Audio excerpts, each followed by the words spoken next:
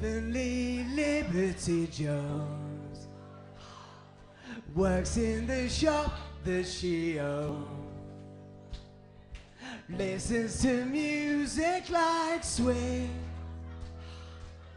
when there's no customers in. Drinks cause she don't like to drive. Takes a siesta five empties her thoughts out of sight to the river at night. Liberty.